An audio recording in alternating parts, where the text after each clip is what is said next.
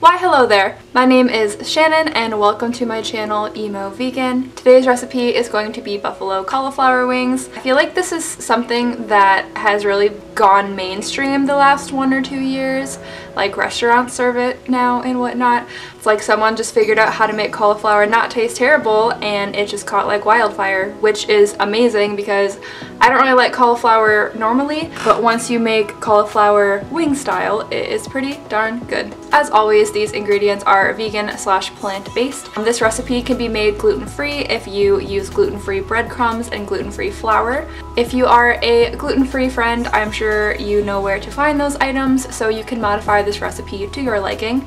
I know that there are tons of cauliflower wing recipes out there and I'm sure they're all absolutely delicious but I prefer to use this one in particular because I feel like it is the easiest. What I like about this recipe is the sauce goes on last so if you're not feeling buffalo cauliflower wings you can turn them into barbecue cauliflower wings or whatever flavored cauliflower wings you are feeling in that moment. But I personally believe that the buffalo style cauliflower wings are is the best, so those are the ones I'm going to be making today. Alright, let's get cooking.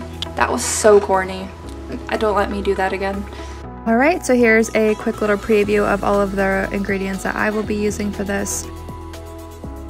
Here is the recipe, so feel free to pause or take a picture of that. So first preheat your oven to 350 degrees. Then cut the cauliflower into small floret pieces. I hope it's pronounced floret. Is it flore? I don't really know. You know what I mean. Make sure your cauliflower is clean. I wanted to break mine into smaller pieces, so if you want to do that, go for it. Alright, so now we can add our breadcrumbs to a bowl and then set that aside. In another bowl, add your flour, garlic powder, paprika, nutritional yeast if you're making buffalo wings, and a dash of salt and pepper. Mix the dry ingredients. Then add the non-dairy milk and water and then mix again. I noticed that the flour gets a little bit clumpy, so I would recommend using a whisk to get those chunks out and make the batter smooth. I'm Gonna put some non-stick spray on my baking sheet. Alright, so time to dip the cauliflower in the batter. Make sure to shake off the excess batter and then roll it in the breadcrumbs and then place on the baking sheet. Obviously do this for all of the cauliflower and then bake it for 25 minutes. And while you're waiting for that to cook, you can just grab a large bowl and your sauce of choice and have that ready to go. And then you get to relax for 25 minutes. So here is just a dumb brief montage of me hanging out with my cat outside on my porch.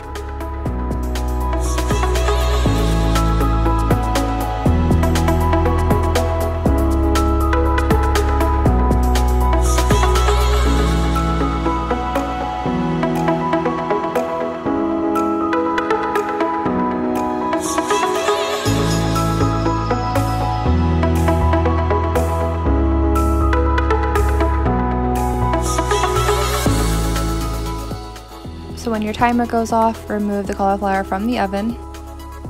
Your cauliflower should look similar to this. It should definitely be crispy, so if it's not, cook it for a few more minutes. And then put all of the cauliflower into that large bowl. And then add a cup of your sauce of choice to the cauliflower and then mix the cauliflower with the sauce gently. You want to make sure to be gentle or else you might knock some of the breading off of the cauliflower and then place the cauliflower back onto the baking sheet. I recommend using tongs, it's just easier that way. And then bake again for another 25 minutes.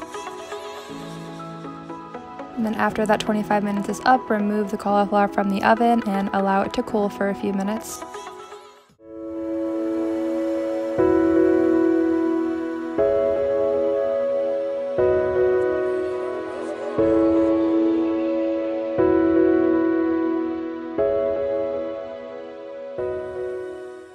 Alright, so there we have it. Pretty easy buffalo cauliflower wings. I hope you enjoyed this recipe. I hope you enjoyed this video. I hope you enjoy everything that I'm doing on this channel because I'm trying and I don't know really what I'm doing and I'm trying to do as much as I can before quarantine is over and I go back to work in two weeks. Anyways, thank you so much for watching this video. I hope you're all staying safe and healthy and and I will see you next time. Take care.